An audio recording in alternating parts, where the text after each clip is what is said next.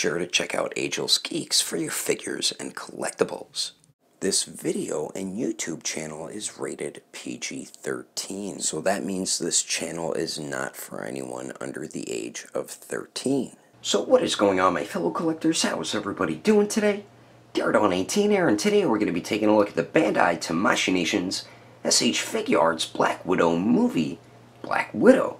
So let's get into it right away and take a quick look at the box. So as you can see, just like with Taskmaster, we do have a similar looking style box there. Hers is just a little bit more narrow, so we do get the window right there on the front of the box, which is shaped in the Black Widow logo. Like I said before, that definitely is pretty darn cool. Then we do get an image of the figure on the left, and then a drawn image of the character on the right. And then on the window says SH Figure Figuarts Black Widow, and then we do get the Tamashii Nations quality sticker. And then on the bottom says Marvel Black Widow from the motion picture Tamashii Nations and Bandai. Then there's the bottom of the box with a very tiny image of the figure and the beloved gloss stuff. There's the top, the one side there, the other side, and then the back to show some pretty cool poses you can get the figure into, along with most of her accessories.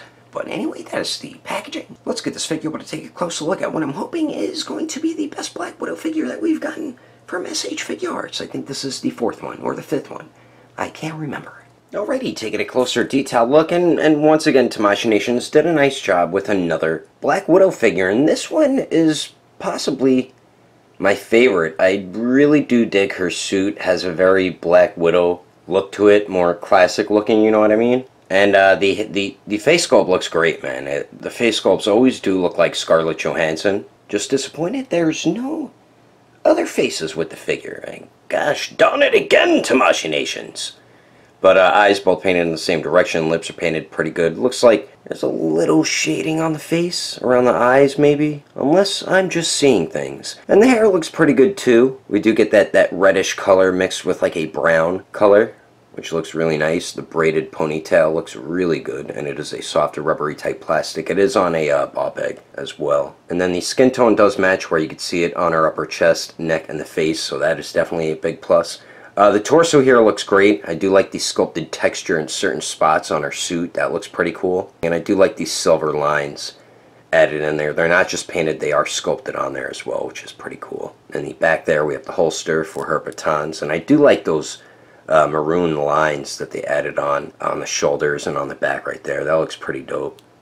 In the back we get some more lines and straps and stuff which look cool. And then the arms look pretty good. Do get a few sculpted wrinkles, that sculpted texture once again. Then we do get her uh, gauntlets there as well. And the paint's clean on that gold there. And then I do like how they made her belt like on an angle. We do get the Black Widow symbol or logo right on there. And the paint's clean where the red meets the gold and where the gold meets the color of the plastic. We get a pouch on that side, some more gold, and another pouch there. And that Scarlett Johansson booty as well. And then the legs here do get the sculpted texture on them. Don't really see any sculpted wrinkles. I guess she's wearing super skin tight pants there. We do have the holsters for her guns. This one is the holster without the gun in it, but we do get all the straps and everything on there. Then the lower legs, her boots look dope. I mean, it's a very plain looking figure. Not not plain, but paint wise. There, there's not much paint on the figure, but we get all the straps. Uh, I like the sculpted wrinkles here on this bottom strap because it looks like it, it's tightened around her ankles. So I like the way they did that. And then the feet look fine.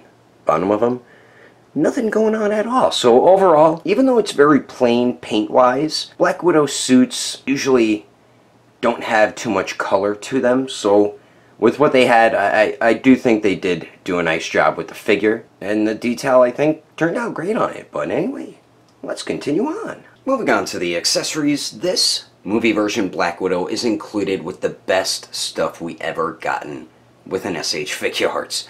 Black Widow, my only main issue with this figure is once again no alternate faces, man. Like, gosh, done it! And it's just that same bland, basic, stern face that we usually get 95% of the time when it comes to an SH Figuarts MCU figure. So to me, that's definitely the biggest disappointing thing about this figure. I wish we got like a yelling, screaming face or an angry face. Even I, I would have taken a side-eye face, you know? Come on, Tamashii Nations. You got to give more alternate facial expressions. So what we do get, we do get her two batons. Then we do get her baton handles, which peg into the back of the figure. And then we do get like a, a grapple hook type accessory, which looks to be her baton, and the grapple hook looks like it flips out or something like that. And then we also do get some interchangeable gun holsters with no guns in them, and then we do get her guns. So for the batons here with the baton handles, as you can see, the handles are the same. Whoops, that was totally out of frame. The baton handles are the, are the same. This is the full baton. This is the handle here. And the handle just has a ball peg on it because just like with the Infinity War Black Widow, it just pegs into the back of the figure, which I will show you shortly. Then we do get our batons here, which look pretty cool. And the way you get her to grip onto them, it just unpegs just like with the other Black Widow figure. The peg is shaped a specific way, so you do have to peg it in properly. But uh, the batons, yeah, they, they, they did turn out fine. Then we do get this baton here, which is kind of angled a little bit, and then it does have like a grapple hook on it. And this thing is sharp, man, but I, I really dig the way this looks. I'm curious to see how she's going to use this in the movie, and the way you get her to grip onto it, same way as the regular batons. Slide her hand on the handle, and then here you go, as simple as that. Then we do get her guns and the empty gun holsters. And the empty gun holsters, both pegs are shaped a different way, so you can tell which one belongs to which leg. So that's definitely cool. But they're just like a grayish plastic, as you can see there. And then we do get our guns, which is also a grayish plastic. They turned out fine. So those are all the dope accessories with Black Widow. Now let me show you how to put the handles on the figure and how to swap the gun holsters. And the way you get the baton handles into the back of the figure, same way as the Infinity War Black Widow. Take the ball peg, just peg that in, and it pegs right in. And you can articulate them around, which is pretty cool. And then just do the same thing with the other one, and then there you go. And then the way you swap out the gun holsters, they're just pegged in. But like I said, you have to get the correct gun holster into the correct peg hole. And this one does match up, so let's peg that one in. And then there we go. Then do the same thing on the other side. And then whammo bammo, as simple as that. So we do get all those cool accessories.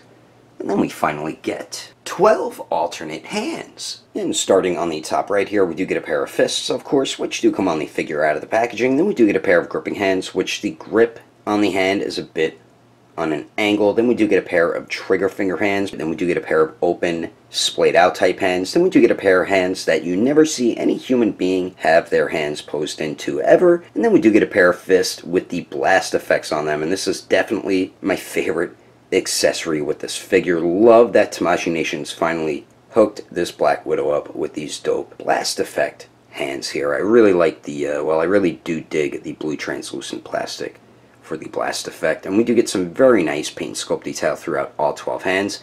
And they are also very simple to swap out. And like I say, that is a very good thing because you want to risk breaking a wrist joint on your figure. But anyway, that is all the accessories included with this version of Black Widow. Let's keep moving on with the rest of the review, shall we? Now for the height of Natasha Romanoff to the very top of her hair. Looks like she's a tad bit over five and a half inches tall. And then here she is compared to the ESH Figuarts Black Widow movie version, Taskmaster, the Infinity War Black Widow, the Final Battle version Mark 85, and a Final Battle version Captain America. And as you can see, she is a little bit shorter compared to the Infinity War Black Widow, but this Black Widow is wearing heels and she is not, so I guess that does make sense that she is a little bit taller. And then here she is compared to the Mafex Black Panther, the SH Figuarts Justice League Wonder Woman, the Infinity War Thanos, and the Infinity War Hulk. And then here she is compared to the Storm Collectibles Sektor, the Marvel Legends Retro Series Deadpool, the Mafex Justice League Batman, and the Figma Black Swordsman Guts. And then here she is compared to the ESH Figuarts Awakened Warrior Super Saiyan Goku and the Mezco 112 Deadpool. Anyway, there's some quick comparisons. Let's keep moving on with the rest of the review. So now for Black Widow's articulation, and she does have some really good movement. Pretty much all the Black Widow figures do have good articulation, and she doesn't have heels on this time, so she's not difficult to stand. So we do get two joints at the neck, but before that, her uh, braided ponytail is on a ball peg, so it can swivel, can pivot, and move up and down, which is definitely cool. But we do get the two joints at the neck, so you can get her to look directly down, which is great. Doesn't look up that much with both joints there. The pivot is pretty damn good too, especially at the upper neck. Geez, and then you do get the swivel as well. We do get a torso and a waist joint, so with both joints, she crunches forward pretty good. You don't really see much of a gap on the back at all either. And then going back, she also goes back really well as well. And then she does have very nice pivot there, as you can see. Better at the torso compared to the waist. And the waist does swivel, and then so does the torso. That torso joint is a little too tight, though. You could hear it making that sound when you articulate it, which isn't a good thing. Now the shoulders here, we do get a nice circular motion out of the shoulder there, and the arms do go out to the sides a little more than 90 degrees. They do go up and down. We do not have true bicep swivel, which is a bit disappointing, so you will have to use it at the shoulder joint, or you can use it at the single jointed elbow. There is a damn moth in my apartment, and I can't get the bastard, damn it! And then we do get a, a great swivel at the, uh, the, the single jointed elbow there, and it does swivel a little bit where it connects into the forearm as well. Then we do get a ball hinge on the wrist, so that does swivel and hinges back and forth. Now for the legs here, they don't drop down or anything like that, and they never have with the Black Widow figures, unless maybe the first one did, but I can't I can't recall as of now. But she does kick forward a little more than 90 degrees, so that's definitely good. Doesn't really go to the back too much because her butt does get in the way of that. Let's see if she can Jean-Claude Van Damme and she pretty much can, so great leg movement with Black Widow. Then we do get the hip swivel, which doesn't move outward at all, just inward a little bit, so a bit disappointed with that. Then we do get double jointed knees that bend back all the way, so that is definitely great.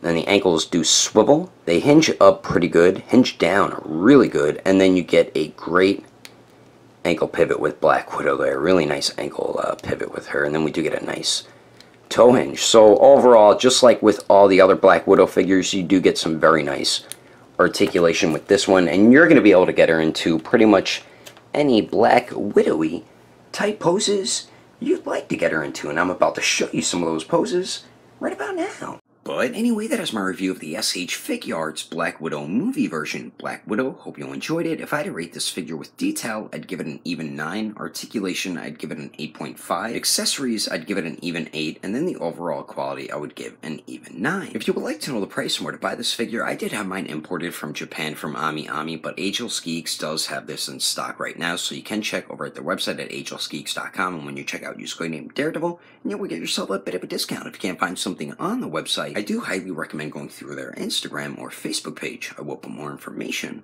in the description below. And if you would like to support the channel, don't forget to subscribe and click on that notification bell. And if you liked it, feel free to give it a thumbs up. If you didn't like it, oh well, I guess you didn't like it. But thanks for watching. I will see you later.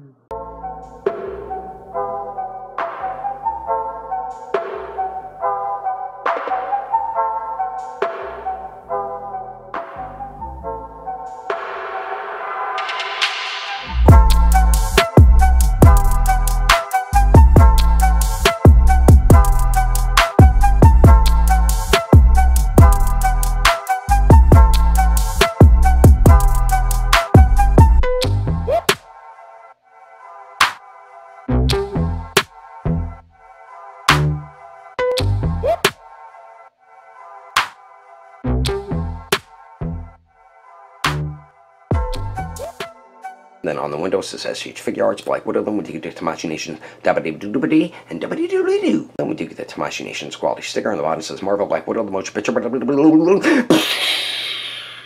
The SH Figuarts Tasks Tasky? The Infinity War Black Widow, the final battle version. Damn it! The Mafex Justice League Batman and the Figma Black Sword. Black